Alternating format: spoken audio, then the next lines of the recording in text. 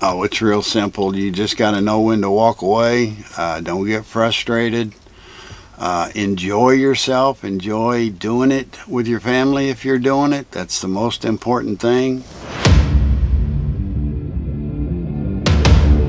I'm here with James, who is strapping everything down and getting ready to hit the road after spending a couple of weeks helping out with the carpentry. It's just doing an absolutely fantastic job.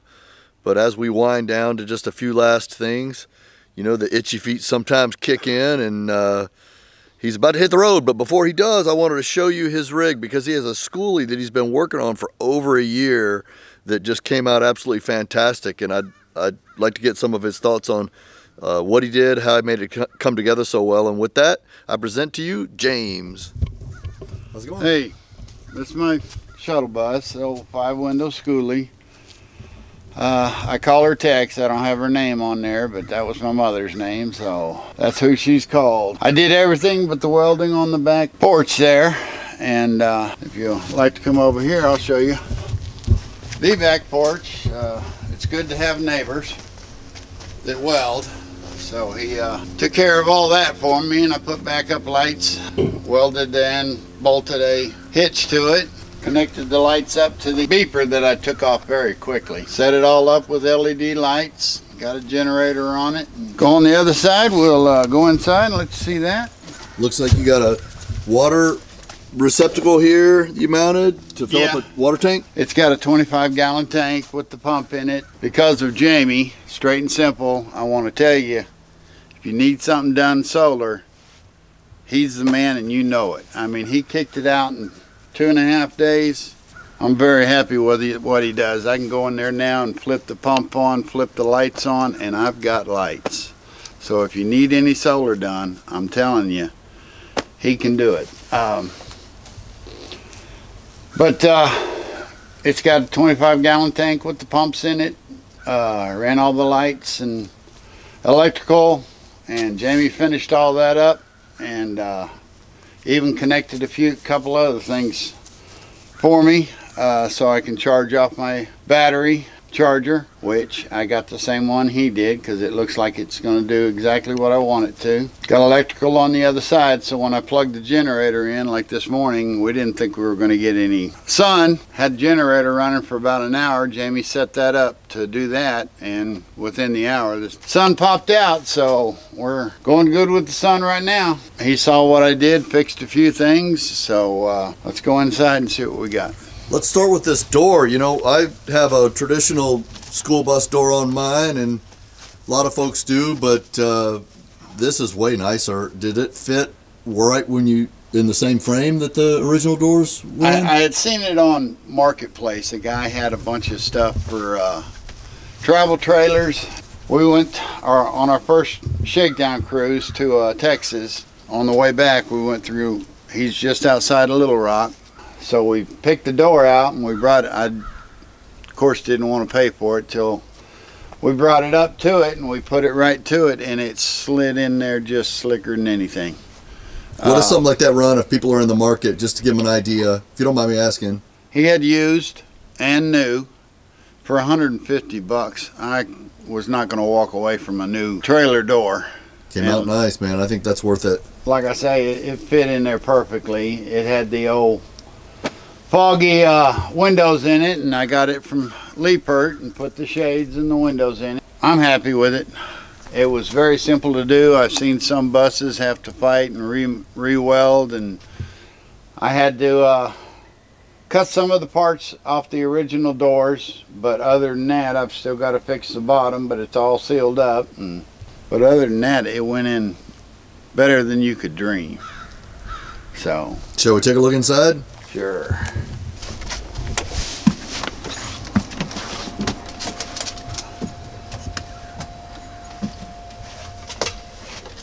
So everybody and their mother's always talking about uh, not knowing to do what to do with this space after they take all their equipment and everything out from the original doors.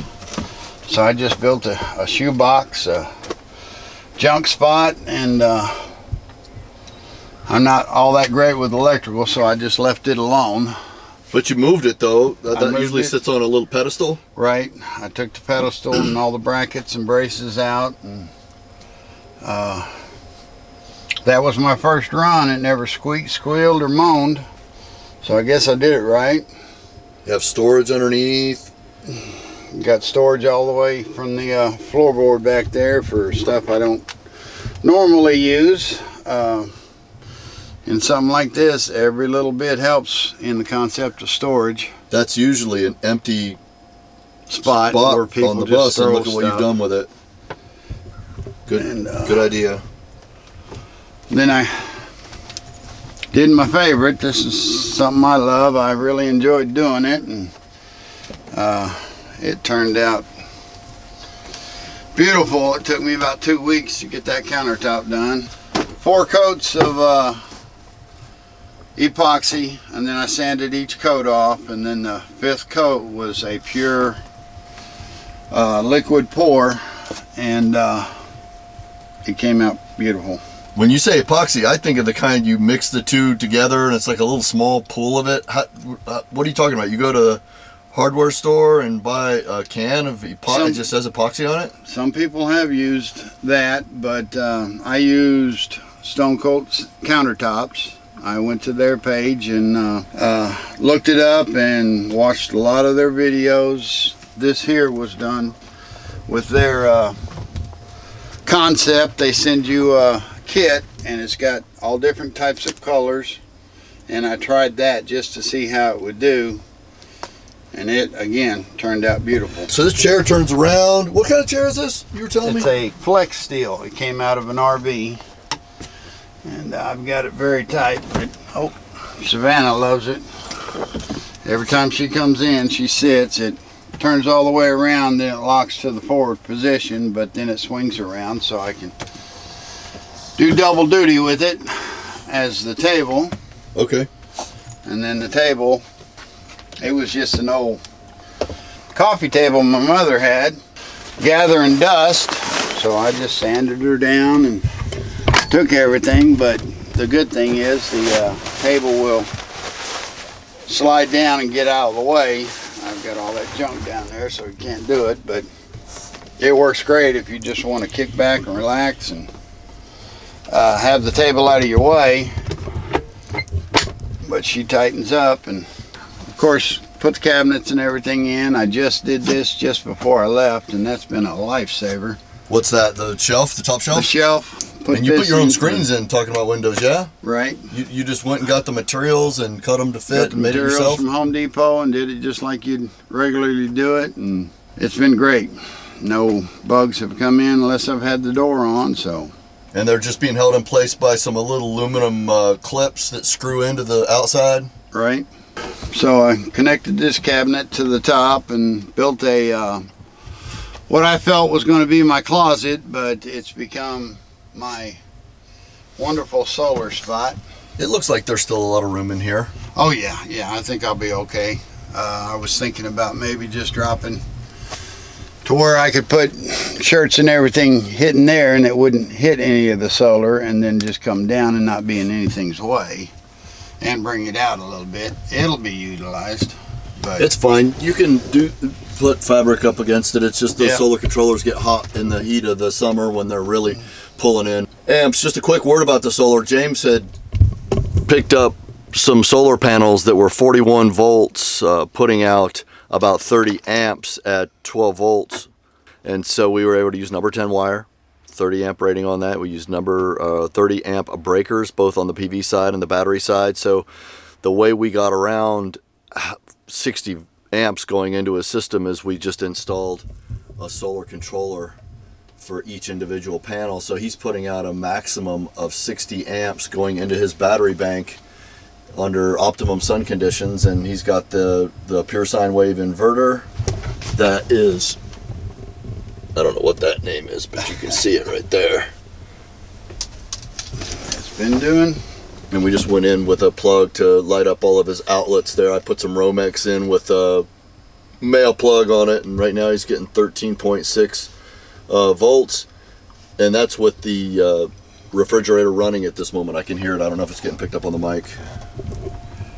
And I got the, went ahead and built my bed. The bed does turn into a couch. All you got to do is pull the back part up and uh, storage underneath it with my water tank. And that's another storage area. I didn't need the whole thing for the bed, so that makes for a good storage. And where Jamie's sitting now is storage under that wheel well. I'll get up and show that So- again. And that's just pure and simple. Easy to do storage. When I first saw that, I thought that was your composting toilet. That would be a good deal, but get the sheets and blankets and everything out of the way. And, got And that's some- just a boat seat. Where'd you get the seat? I just put the boat seat in for now.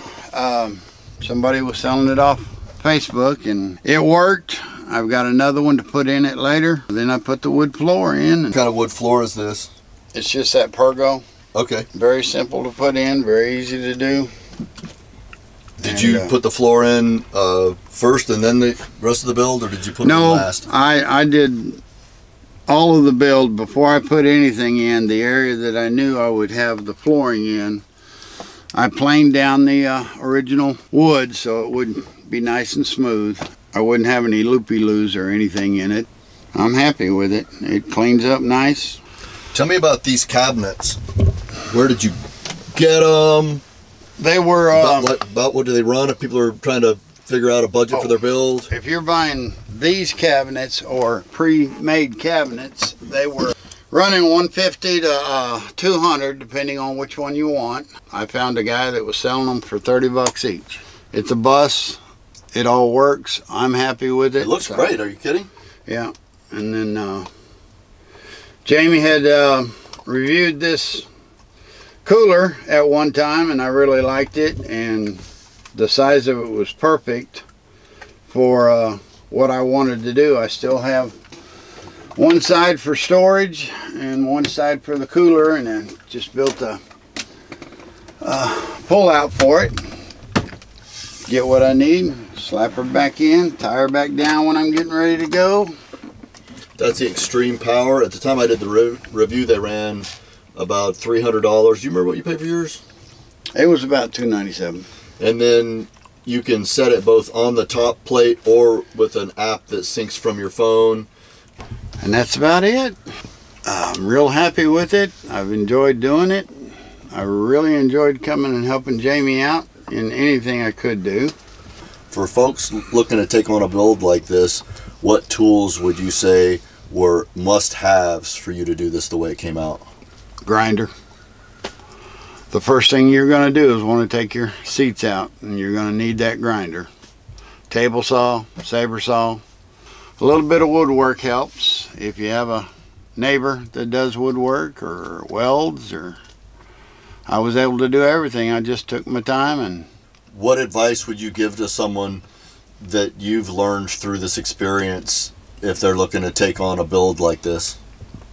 incorporate your kids into all of this. I had a neighbor across the street and you couldn't keep him away from it and he just really enjoyed learning how to do stuff and uh, just enjoy with your family and have fun. Learn everything that you do. If you have problems, you're going to know how to fix it. But if you do need a professional, you need to go out and get it and make sure he explains any and all and everything to you. So when something does happen, you'll at least know how to fix it. I think that's great advice for building one of these out. What would you like to add for someone that might be watching this at home and maybe they're in a house, a, a trailer, a apartment, and they're thinking about getting a rig, whether it be a van, a school bus, a shuttle bus, a box truck, whatever, and heading out into the traveling lifestyle? What advice would you give them? They're watching this right now. Do your research. Pay attention to what you're doing, what people have, what type of motors they have. Um, you can go online on YouTube. That's how I found Jamie and, and Wonder Boom and uh, Jack's Austin. Badge and Jax Austin, and uh, they're the people that taught me navigation nowhere he's building a shorty bus right now. Um, and Jamie's been doing this bus. They all have good information, and you need to listen to them. They've done it two, three, four times in their life. That's why they have a YouTube channel. That's why they know what they're talking about. Uh, I didn't want anybody but Jamie to do my solar because of what I had seen he done and cared for. And as you can see, he put name tags on for me. Not not just anybody will do that for you, but do your research. Decide what vehicle is going to work for you. You know, uh, decide if you want a gas. I it's took a year to find this bus. And once I found it and once I was on the road, I was totally happy with it. Um, it's perfect for me. How did you find the bus? Uh, it was on eBay. A lot, of, us on eBay. a lot of people don't want to do eBay and everything, but I just felt comfortable. The guy had no problem sending me all kinds of pictures and uh, told me everything, and he didn't lie to me. And I'm looking forward to doing it again or helping other people. I have had a wonderful time meeting Jamie and Mac and their dog Savannah. I've seen on video so many times, and just getting to know them as a person and having fun. Well, we sure have enjoyed having you. Wanted you guys to see the rig and, and meet James before he turns the key and is off to new adventures. Thanks for watching. We'll see you guys on the road, the both of us. You bet. See ya.